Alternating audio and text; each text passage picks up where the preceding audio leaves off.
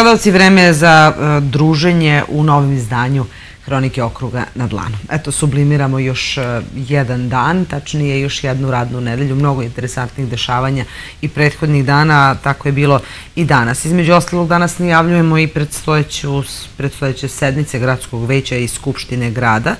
Uh, sednica veća zakazana je za 22. maj, a već 24. maja novo zasedanje lokalnog parlamenta. Tokom emisije čućete šta je ono što e, je značajno za, za ova dva događaja.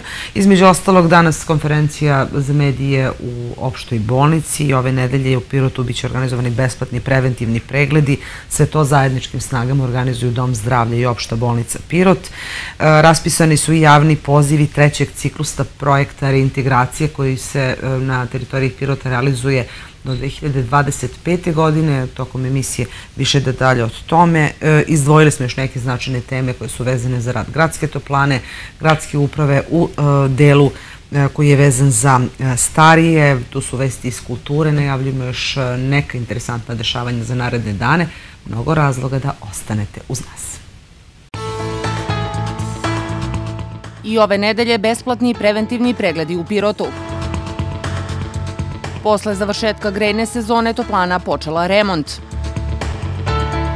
Otvorena izložba fotografija Nebriga u kulturnom nasleđu.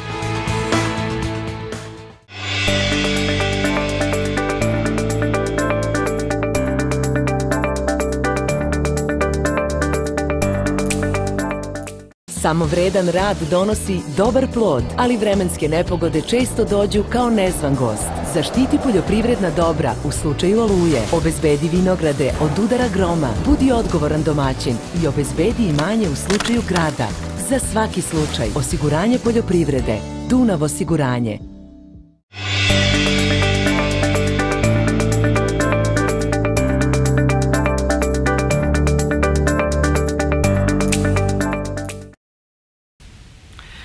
Utvrđivanje predloga odluke o završnom računu budžeta grada Pirota za prošlu godinu na dnevnom je redu sednice gradskog veća koja će biti održana 22. maja. Na dnevnom redu su između ostalih i odluke o izmenama i dopunama plana generalne regulacije Pirot centar i o pokretanju postupka izrade programa gasifikacije na području grada. E, većnici će razmatrati izveštaje o radu štaba za vanredne situacije za prošlu i plan rada za ovu godinu, kao i plan odbrane od poplava. Članovi gradskog veća razmatraće i odluku o postavljanju spomen ploče profesorima Zvonimiru Minčiću i Branislavu Ćiriću i spomen obeležija kapetanu Vojske Srbije Vladanu Jovanoviću. O svim ovim odlukama konačnu reč daće odbornici na sednici Gradske skupštine koja je zakazana za petak 24. maj u 10 sati uz direktan prenos na televiziji Pirot.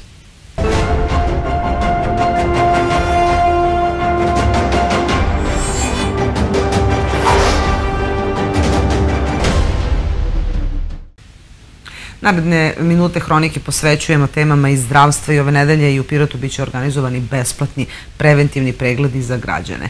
Preglede e, zajedno organizuju Dom zdravlja i opšta bolnica Pirot, saopšteno je na današnjoj konferenciji za medije.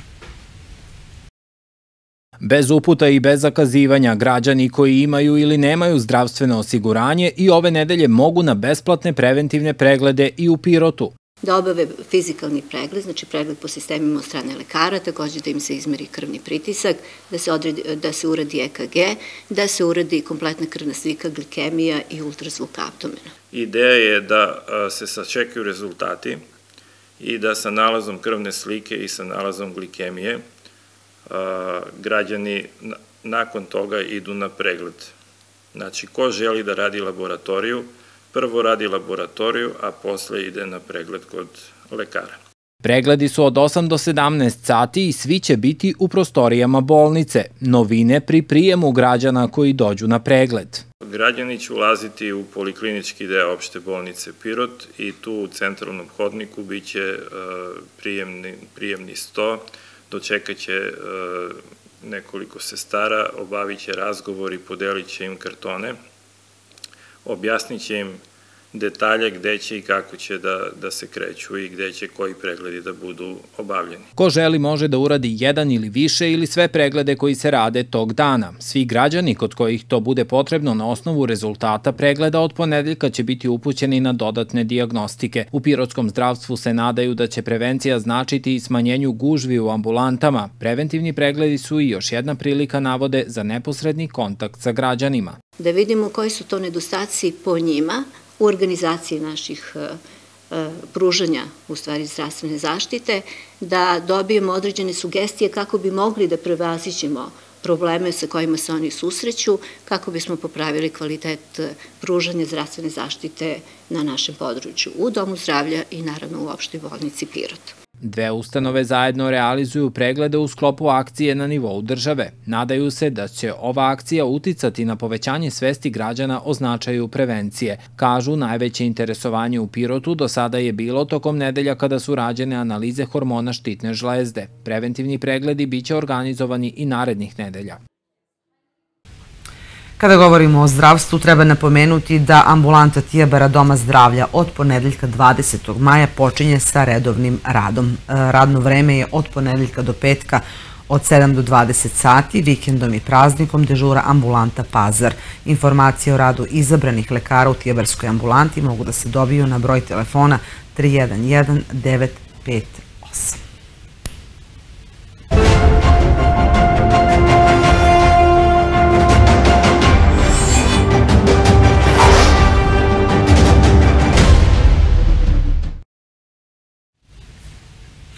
Od početka realizacije projekta Reintegracije 2 e, pratimo e, sam projekat e, koji će trajati u Pirotu do 2025. godine.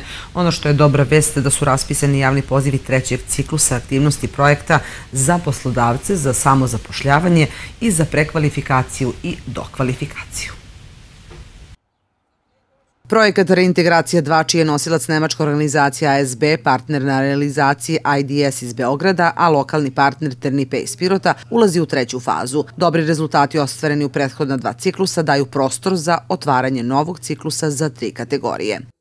Pre svega to je komponenta samozapošljavanja u okviru koje ćemo odabrati 20 kandidata za obuku u kojoj će ući u ciklus osnovnih biznis obuka, a e, najbolje napisanih 10 biznis planova će biti nagrađeno dodeljivanjem grantova u iznosu do 3000 eura za kupovinu mašina i opreme za otpočinjanje sobstvenog biznisa. Raspisan je i treći javni poziv za izbor poslodavca za dodelu subvencije za zapošljavanje nezaposlenih lica korisnika projekta.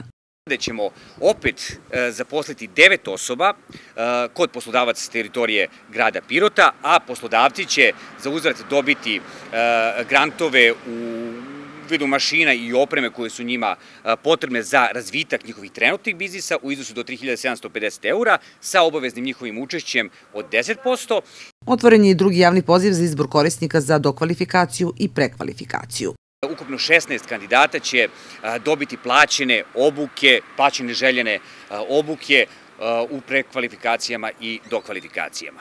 Nosioci projekta nastavljaju realizaciju projekta kroz nove cikluse zadovoljni prethodno ostvarenim rezultatima, ističe Dojčinović. Podsjetit ću vas da smo mi ukupno u dva prethodna ciklusa zaposlili 30 osoba kod poznatog poslodavca, dodeli smo ukupno 35 grantova za odpočinjanje sobstvenog biznisa u iznosu do 3000 eura i ukupno 26 kandidata je završilo obuke u prekvalifikacijama i dokvalifikacijama, zaista širokog spektra zanimanja, pogotovo oni koji su izuzetno traženi trenutno na tržištu rada u gradu Pirotu. Rok za prijevu je 31. maj. Projekat Reintegracija 2 koji se na teritoriji Pirota realizuje u nekoliko faza traje do 30. aprila 2025. godine. Grad Pirot raspisao je konkurs za ovu godinu ostvarivanje prava na podstice za unapređenje ekonomskih aktivnosti na selu kroz podršku nepoljoprivrednim aktivnostima. Podstice obuhvataju investicije za razvoj ruralnog turizma. Prihvatljive investicije su ulaganje u rekonstrukciju, dogradnju, adaptaciju i sanaciju, investicijono i tekuće održavanje u cilju privođenja nameni, kao i nabavka opreme za pružanje ugostiteljskih usluga u ruralnim sredinama. Pravo da konkurišu imaju fizičke i pravna lica, nosioci registrovanog poljoprivrednog poljoprivrednog gazdinstva koje je komercijalno i ima aktivni status. Prijave se podnose u pisarnici gradske uprave do 16. juna. Za podsticaje za ruralni razvoj predviđena su 3 miliona dinara, a subvencioniše se 50% investicije. Maksimalni iznos po korisniku je 400.000 dinara. Konkurs je objavljen na oglasnoj tabli u uslužnom centru gradske uprave i na sajtu www.pirot.rs. Jačanje lokalnih kapaciteta za smanjenje diskriminacije starih osoba naziv je programa koji se realizuje u nekoliko gradova u Srbiji. Pirot je među njima. O ovoj temi koleginica Vanja Mijalkova ovog predpodneva razgovarala je sa predstavnicima gradske uprave. Moja sagovornica je Amelija Kostadinović. E, pričamo o položaju e, starijih osoba u Pirotu. Pirot je bio domaćin jednog okruglog stola koje je sve bio prisutan i kakva je demografska slika između ostalog u narednim minutima sa Amelijom. Hvala najpre na vremenu i evo da čujemo koliko je značajna ova tema i šta nam pokazuje sama demografska slika Pirota. Dobro jutro Vanja tebi i svim gledalcima televizije Pirot. Pa da, kao što si u najavi rekla, mi smo bili domaćini jednog okruglog stola u organizaciji ovaj povreništva za rodnu ravnopravnost i populacijonog fonda Ujedinjenih nacija i mi smo bili jedan od 12 gradova, odnosno lokalnih samouprava koji su izabrani da budu domaćini takvih okruglih stolova i deo tog jednog programa. Tema okruglog stola jeste bila jačanje lokalnih kapaciteta za smanjenje diskriminacije starih lica. Ko je sve bio prisutan na ovom okruglom stolu, o čemu se razgovaralo, verujem da ste izneli sve one i lepe, ali i manje lepe stvari. Tako je. Ove, tu su bili predstavnici pre svega naše dva udruženja penzionera iz Pirota, predstavnici svih relevantnih institucija koje se bave pre svega problematikom, odnosno položajem i načinom života starih lica, Centar za socijalni rad, Crveni krst Pirot, predstavnici zdravstvenih ustanova, znači zdravstvenog centra i opšte bolnice Pirot, ali i nevladin sektor, znači koji su veoma bitna karika, jer oni se pre svega bavi volonterizmom i negde su i na terenu i mogu da prepoznaju koje su to potrebe i koje su to ovaj, problemi sa kojima se naše starije lica ovaj, susreću u gradu. Koji su to najčešći problemi sa kojima se oni suočavaju? Pa ja bih prvo rekla da su naši e, domaćini gosti, jer su oni organizatori, jer su bili naši gosti, ovaj, bili e, zatečeni kada su čuli od naših penzionera, predstavnika penzionera, da se oni uopšte pre svega ne osjećaju diskriminisano u našem gradu, što je jako lepo čuti. Rekli su da to je jedan jako lep primjer. A, naravno, a, fokusirali smo se na to da dok smo ovako mi mlađi i dok smo u punoj snazi i radno sposobni, ne razmišljamo o starosti, ne razmišljamo o tome kako je tim ljudima kad ostare, kad ostanu sami, nije, nije nužno da oni budu bolesni ili nepokretni, ponekad je jednostavno potrebno samo da im se pruži neka topla reč, da se popriča sa njima, da se čuje samo njihov glas. Predstavnici institucija su se pre svega osvrnuli na to šta oni rade, šta čine, ovaj, šta imaju u planu, koje usluge, neke inovativne usluge, neke treba unaprediti, ali smo došli do zaključka da je najveći problem možda kod nas među starijom populacijom neinformisanost. Znači, postoje neke usluge za koje, recimo, naši sugrađani, stari sugrađani nisu nikada čuli. Da li je to razlog njihove kako da kažem, nezainteresovanosti ili prosto su u nekim ruralnim sredinama pa im te informacije nisu toliko prisutne, pristupačne, ali definitivno postoji ta neka neinformisanost među starijom populacijom i treba se... Da li to znači da upravo mediji treba više pažnje da obrate upravo na stariju populaciju? Tako je, tako je, upravo to. Znači treba i ne samo mediji, nego i svi mi zajedno da malo više povedemo računa o našim starijim sugrađanima, jer to je jedan veliki resurs, to je jedno iskustvo ovaj, od ko, gde mi možemo mnogo toga pametnog čuti i naučiti. E, po onom poslednjem e, popisu videli smo ima nas znatno manje kakve je situacije, da li je lokalna samouprava raspoložena sa tim informacijama koliko imamo onih starijih od 65 godina i da napomenemo još jednom lokalna samouprava Pirota daje brojne pogodnosti za ljude starije od 65. Tako je, po poslednjem popisu stanovništva mi imamo negde oko 49.000 stanovnika, ali prosečna starost stanovništva u Pirotu jeste 46 godina, što nas opet negde svrstava u neku, da kažem, stariju stariju populaciju. Naravno, razlik, razloga za to je dosta, nisu samo to neke migracije u okviru ili van naše zemlje, tu je i povećana stopa fertiliteta, nažalost i stopa mortaliteta, mortaliteta, znači to su sve neke stvari na koje mi ovako ne možemo da utičemo, ali možemo da utičemo da kvalitet života starijih lica bude, bude bolji. Mi smo tu čuli recimo primere dobre prakse iz nekih drugih lokalnih samouprava i evo bilo je, meni lično je bilo interesantno, a i prisutnima, da su naveli Sombo recimo jednu od mera, im, mera koja zapravo ne košta ništa, ali jedna lepa usluga, da kažem, knjiga na kućnu adresu. A zapravo ja sam sama tada prvi put čula da mi imamo isto tu uslugu knjiga na kućnu adresu koja nije namenjena samo starijoj populaciji, naravno, ali kako da ne i oni su nam negde ciljna grupa. Tako da e, ideja održavanja tih okruglih stolova prvenstveno da se e, Imali smo anketu na kraju, moram reći, anketirali smo znači sve naše prisutne. Ideja je da se po prikupljenim podacima i informacijama, znači da se oni svi sumiraju i da se dostave nadležnim državnim institucijama koje su pre svega nadležne za brigu o starima, da bi i oni nešto učinili i napravili korak napred da bi se unapredio položaj tih starih lica. Da li je planirano do kraja godine još neki okrugli stoj, neki konkretni koraci što se tiče upravo položaja starijih u Pirotu? naši sagovornici, a i e, gosti prisutni koji su bili, odnosno učesnici okruglog stola, su upravo izrazili želju da treba biti mnogo više, mnogo češće ovakvih okruglih stolova, da se čuju i da bude sve to malo više medijski propraćeno. Ameli, hvala najlepše na ovom razgovoru. Nema na čemu.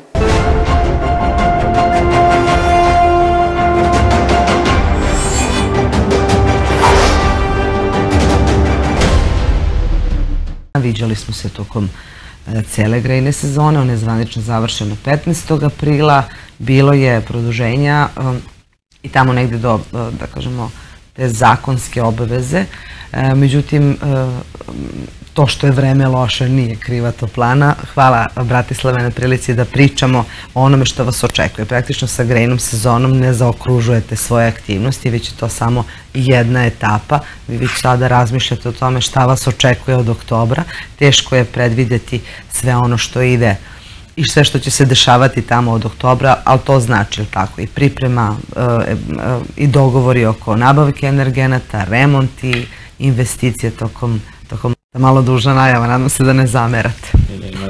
Dobro jutro vama i svim vašim gledalcima. E, da, kao što ste u najavi rekli, ovaj, kraj grejne sezone, e, po nekim propisima grejna sezona se završila 15. aprila, mi smo imali obavezu pripravnosti do a, početka maja i eto, vremenske prilike su naložili da to ovaj, vreme pripravnosti provedemo u, u, u isporuci toplotne energije zbog niskih temperatura. Mi smo bili... Da, bilo je dana, a, tako? Tako je, tako je, bukvalno do, do pred sam kraj aprila. O, I eto, završili smo tu grejnu sezonu ovaj, po meni, po nama u gradskoj toplani na jedan najbolji mogući način, zaista nije bilo ovaj, nikakvih ispadanja što se tiče sistema.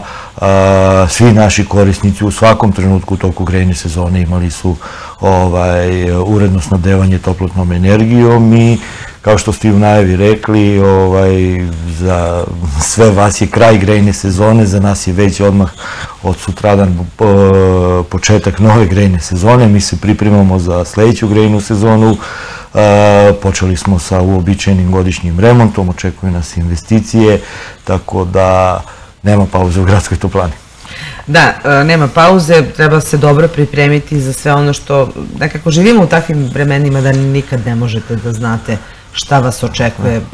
Sećam se onih razgovora kada je krenula ekonomska kriza posle svih onih uh, svetskih turbulencija koji dalje traju i sve to negde remeti i cenu energenta, može li, e, da li se pretpostavljam i sada dogovarate možda sa uh, aktuelnim dobavljačem, kako to sad sve funkcioniše? Pa da, nije zgorek da se podsjetimo sam taj početak i ekonomske i velike energetske krize koje je da kažem, uticala na, na celu Evropu i na svet. E, setimo se vremena s početka te grejne sezone kada stvarno nismo znali ni da li ćemo imati energenta, ni koji ćemo energent koristiti. Bilo je puno neizvesnosti. E, ta neizvesnost je danas mnogo, mnogo manja, ali i dalje postoji i mi jednostavno postoje stvari na koje ne možemo da utičemo ni mi, ni, ni da kažem mnogo veći od nas, tako da pratimo situaciju, ono što je najbitnije da smo sve te neke turbulencije dočekali potpuno spremni i u tehničkom smislu i u finansijskom smislu, da možemo da reagujemo i da možemo da ispratimo sve te neželjene situacije i da ublažimo te, te udare, da, da to ne dođe do, do naših korisnika. Mislim da smo u tome uspeli i ove godine ćemo se pripremiti. Ono što svi čujemo u medijima to je da da će gas možda u nekom trenutku i pojeftiniti, mi ćemo svakako ispratiti to. Ukoliko, to je lepo čuti, obično poskupljuje. Tako je, ukoliko dođe do toga mi ćemo svakako prilagoditi naše cene jer energent, odnosno da li gas ili mazut, sve jedno, je naš najveći trošak u toplani, on ima i tekako veliki uticaj na cenu koju mi imamo prema korisnicima. Kada već govorimo o gasu, treba da pomenuti, vi ste mnogo puta govorili da, da je toplana u svakom smislu spremna da se onu trenutka kada priključak stigne do Pirota priključimo na taj na međunarodni gasovod. Imali naznaka, da kažemo, tehnički je sve odrađeno, ali sad imali naznaka možda iz, iz vrha države da će to biti možda tokom leta, kako to sad sve funkcioniše, jer ono što ste vi meni jednom prilikom tokom uključenja i objasnili da će cena gasa tada biti i manja, ali tako? Komprimovani gas traži e, e, više sredstava zbog dopremanja, ali tako? Tako je, tako je. Ovaj, ja moram da kažem da je gasovod koji je prošao na domak Pirota zaista izuzetna stvar i za Srbiju, a pogotovo za Pirot i što se tiče i gradske toplane, ovaj, mislim da je, da je to prava stvar. Ono što nas očekuje u narednom periodu to je priključenje na taj gasovod i ja očekujem da će to biti do kraja sledeće godine sigurno. Ono što ja znam i mi u Toplani i informacije sa kojima raspolažemo da je industrijska zona i Toplana jedan od prioriteta prilikom ovaj, ulaska mreže u grad ja se nadam da ćemo do kraja sledeće godine, možda već sledeću grejnu, se, uh, grejnu sezonu 25-26 početi sa gasom iz gasovoda. Naravno da će taj gas biti jeftiniji, uh, mi sad koristimo komprimovani prirodni gas i imamo uh, naravno troškove i dopremanja i troškove merno-regulacijone stanice i sve one transportne troškove koje prate taj komprimovani gas, zato, tako da je gas koji mi koristimo ovaj, u nekoj meri skuplji, ima veću cenu nego gas koji ćemo dobiti iz gasovoda. Što se tiče priprema, mi smo potpuno spremni za priključenje na gasovod, naša oprema je prilagođena, naravno bit će tu nekih prepravki, nekih dorada, ali to jednostavno vrlo brzo može da se desi i da se uradi u toplani. Ono što mi željno očekujemo to je da gasovod uđe u samo dvorište toplane, onda sve na nama i da, da to iskoristimo na jedan najbolji mogući način. Uh, pored priprema za narednu grejnu sezonu, vi uh, i tih šest meseci između, tako, uh, prethodne i nove grejne sezone koristite i za investicije, šta je ono što je izvesno? I tu je, da kažemo, uvek diskutabilno, sve zavisi i od para i od priliva sredstava, šta je ono što izvesno radite tokom letnjih meseci, infrastrukturni radovi se obično rade baš u, to vreme? Naravno, ono što, što se radi u toplani na, na mreži, na, u samoj energani ili na bilo kojoj opremi toplane, sve to moramo da uradimo u ovom periodu koji je manji od šest meseci, obzirom da su grejne sezone ovakve kakve su poslednjih godina. Mi strudimo da stvarno to uradimo na najbolji način i zbog toga su nam i grejne sezone takve kakve jesu, bez ikakvih ispadanja i bez ikakvih problema. Takođe koristimo priliku da svake godine odvojimo neka sredstva za investicije, za unapređenje rada toplane. Koliko, ove, koliko ove godine? Ove godine još uvek e, odvojili smo neka sredstva planom, nismo još uvek raspisali javne nabavke, ono što nas očekuje to je proširenje kapaciteta u u zonskoj postavnici u nasilju ATP, kako bi mogli da ispratimo i boga, ovaj, budući sajanski prostor sa isporukom toplotne energije, a da ne ugrozimo ostale korisnike. Ovaj, radit ćemo prebacivanje sekundara na primar u ulici pored pošte.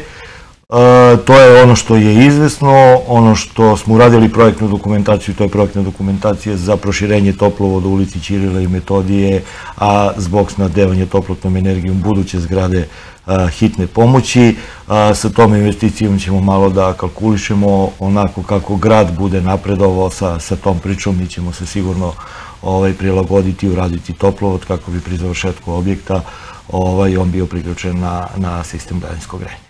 I ono što uh, verovatno interesuje sve korisnike gradske toplane od trenutka kada se tako ugasi sistem uh, i krene remont, to znači uh, sa druge strane i mogućnost za bilo kakve intervencije na instalacijama u kućama, stanovima, svim onima koji su vaši korisnici.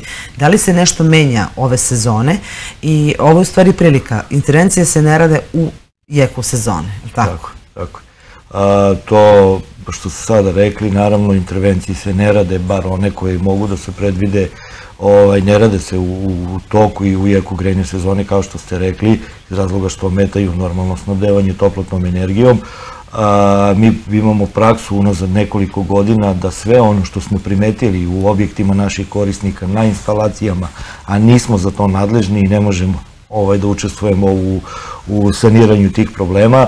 A, obratit ćemo se dopisima kućnim savjetima, stambenim zajednicama ili individualnim objektima i dati preporuke ono što treba da se uradi i ono što smo mi uočili u toku grejne u toku grejne sezone kako bi naši korisnici sa svojom instalacijom spremno dočekali sledeću grejnu sezonu.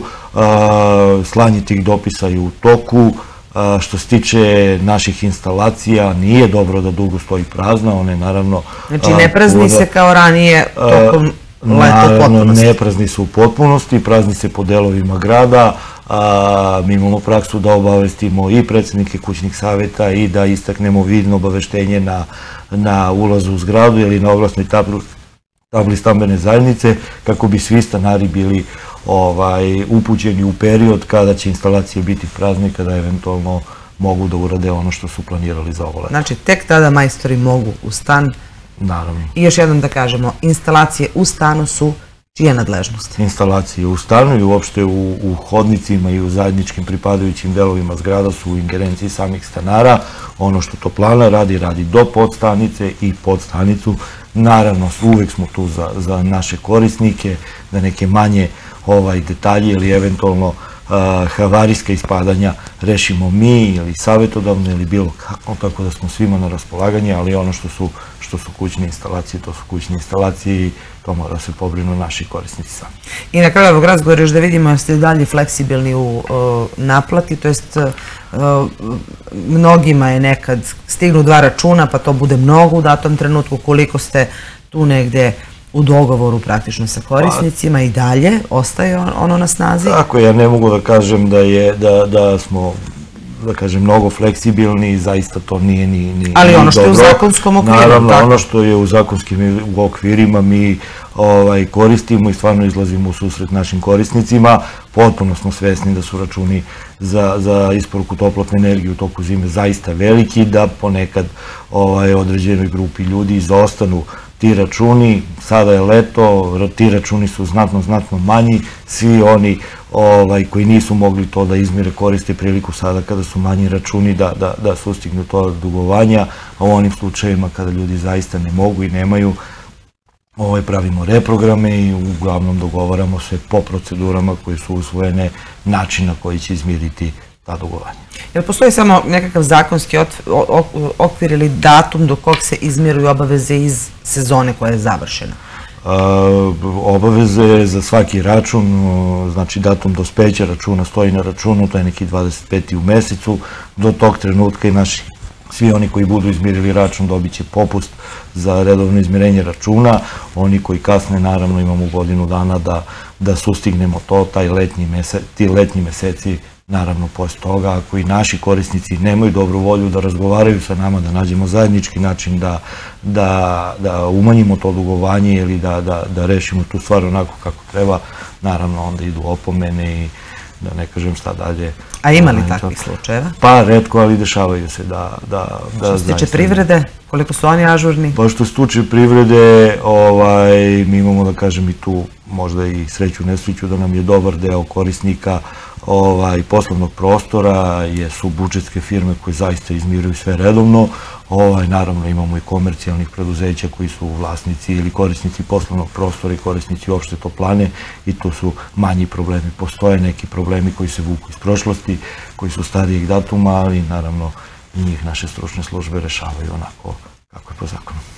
Hvala vam, zaokružili smo ovu priču, u stvari otvorili neke nove teme i nadam se da ćemo se sledeći put vidjeti negde na terenu, da vidimo kako to funkcioniše van grejne sezone kada se rade ove veće investicije. Hvala još jednom i uh, pratimo pomno što radi gradska toplana i očekujemo to pojeftinjenje gasa. Da. I mi ga zaista očekujemo. Hvala vama na vremenu i svim vašim gledacima. Hvala još jednom.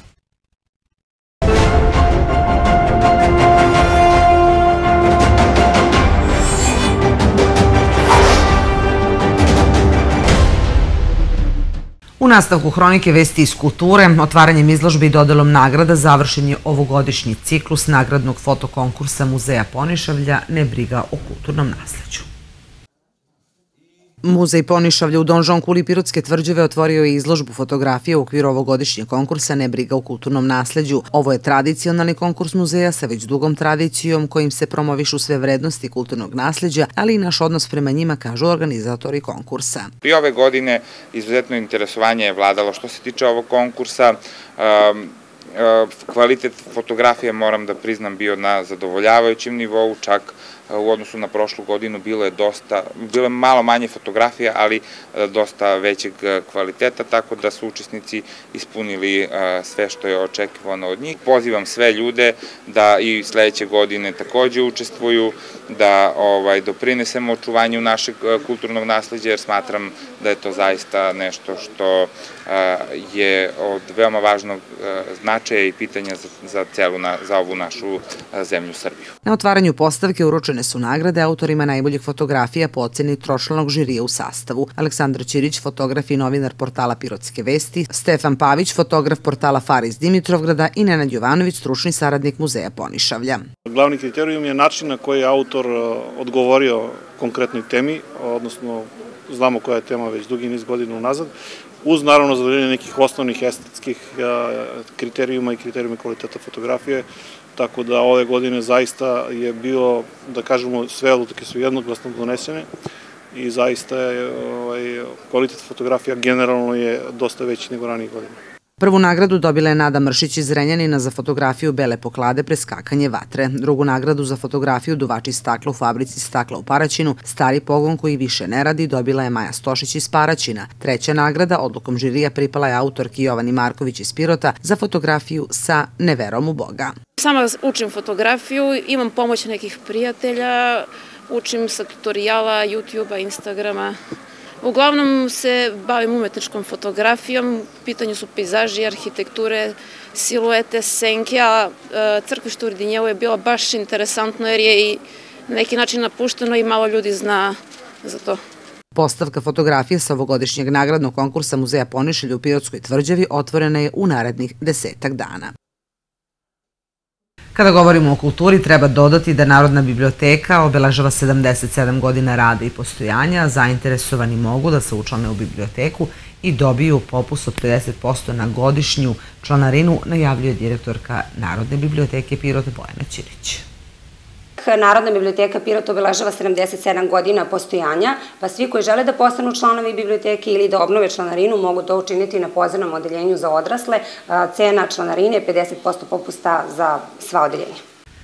Mnogo kulturnih dešavanja najavljeno je za naredne dane. Pomno ćemo pratiti sve što je aktuelno i u Domu kulture, i u biblioteci, i u pozorištu. O pozorištu ćemo tek govoriti naredne nedelje, ali ono što treba napomenuti da je sinoć održan prvi od dva prolećna koncerta ansambla Doma kulture. Publici se predstavilo oko 250 izvođača, nastupile su sve folklorne grupe i Narodni orkestar. Drugi koncert je večeras od 19 sati. Naravno, pomno pratimo i sve ono što rade eh, folklorci u sklopu Doma kulture i na ovaj način se predstavljaju, a sa sigurnošću ćemo ih gledati i u okviru ovogodišnjeg pirotskog leta, o tome ćemo tek pričati. Ovim završavamo današnje druženje u Hronici okruga na dlanu, ostanite i dalje uz naš program Prijetan vikenda, mi ćemo pomno pratiti sva dešavanja najavljena za naredne dane. Prijetno!